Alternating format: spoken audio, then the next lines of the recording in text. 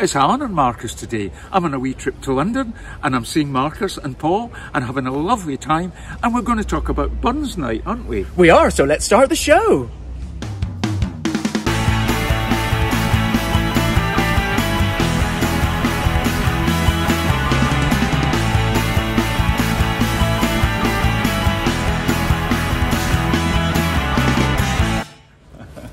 Well, for Burns night, I guess you have to go to a Burns supper, and I've got Alan with me here, who's been to many in the past. Oh, I have. Oh, yes, definitely. Tell me about what I'm a what goes fan. on. A haggis fan. I'm a haggis fan.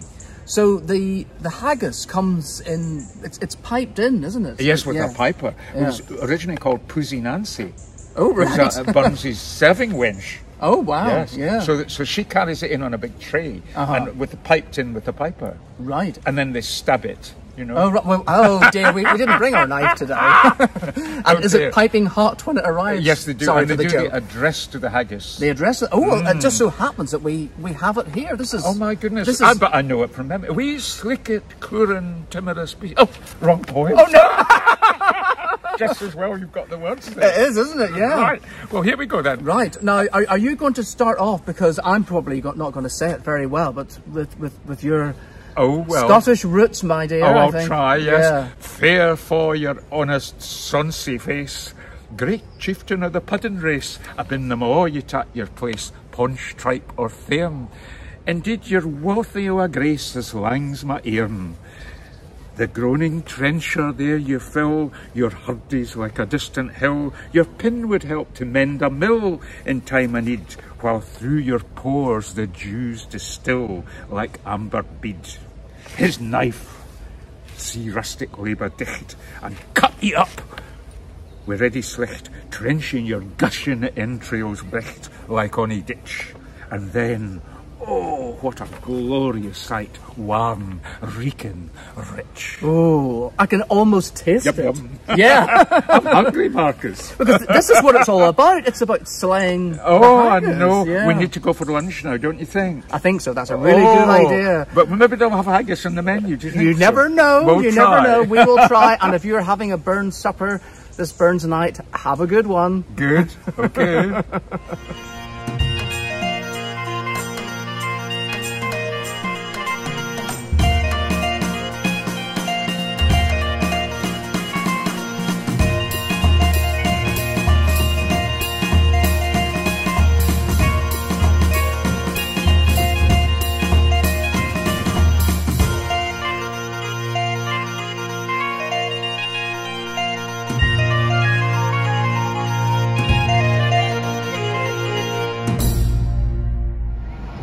Thank you for watching our show today.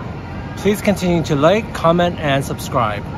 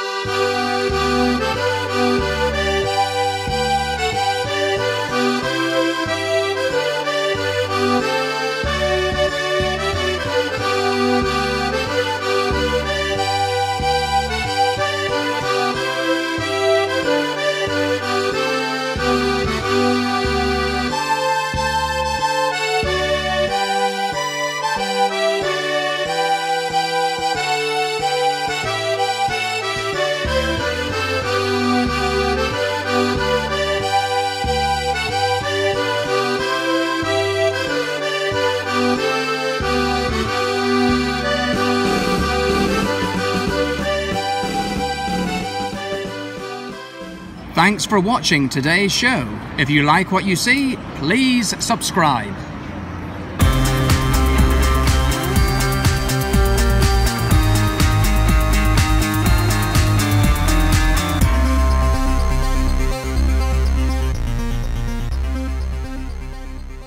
I think a really good accompaniment for Burns Night is shortbread. and I'm going to have a go at making it for the first time. And it seems pretty easy. All you need is 150 grams of plain flour, 100 grams of caster sugar, and 50 grams of butter, and then uh, a pair of hands to mix them all together. and a bowl, of course. So let's get started.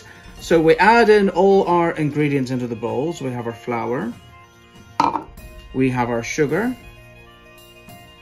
and we have our butter, which I have pre-cubed.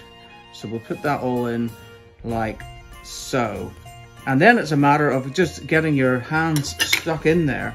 And what you want to do, first of all, is to get it into a like a crumble sort of mixture.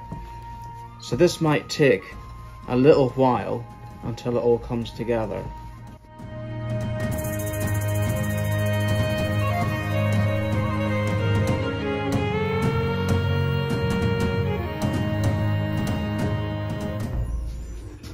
So the mixture is now into a nice crumbly texture and what we need to do is to now create it into a dough and by squeezing the mixture together it should come together as a dough.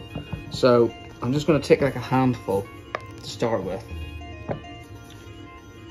And I think the best thing to do rather than trying to get it all into a dough at once is to make mini sort of dough balls and then squeeze squeeze the all together.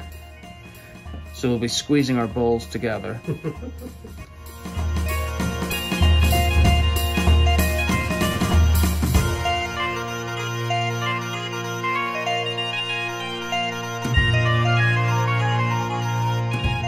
so I've got some extra flour left over and I'm going to sprinkle that on the board and I've also got my rolling pin and get rolling, rolling, rolling, rolling.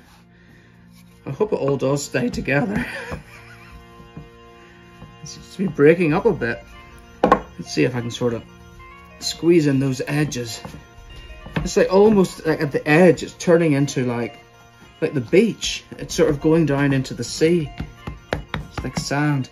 Now I've got this very handy little um, pizza, pizza. slicer here. And what I want to do is make it into fingers so I'm just going to take the edges off and we'll do fingers sort of. I don't want to make them too thin because it might all collapse.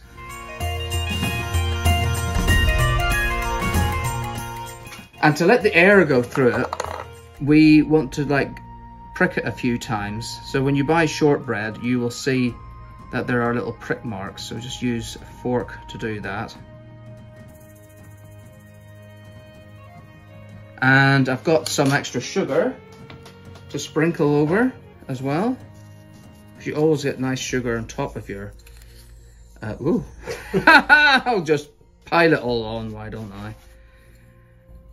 There we go. Now, you can't just cook these immediately. They have to go into the fridge to set for 20 minutes and then they go into the oven. And you cook them for 20 minutes at 170 degrees Celsius.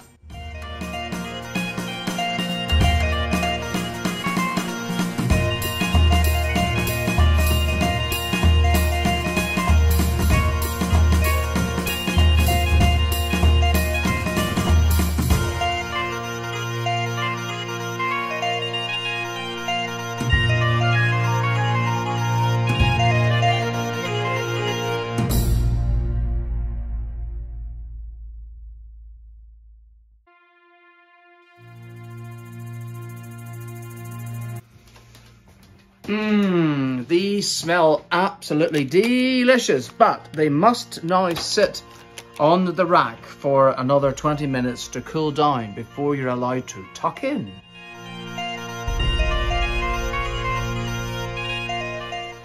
Oh, I have been waiting for ages to tuck into these. Absolutely perfect for Burns night, perhaps with a little dram of whiskey.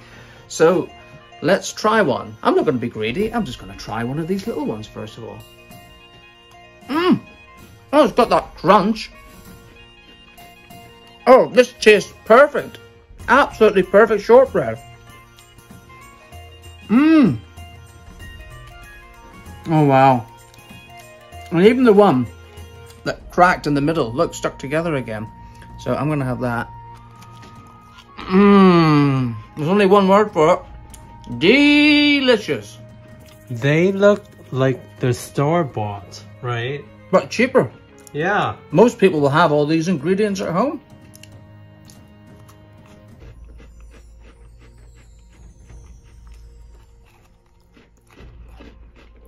Mmm. That one is good. Oh, one of the best things I've made. Say that again. That's like one of the best things I've made.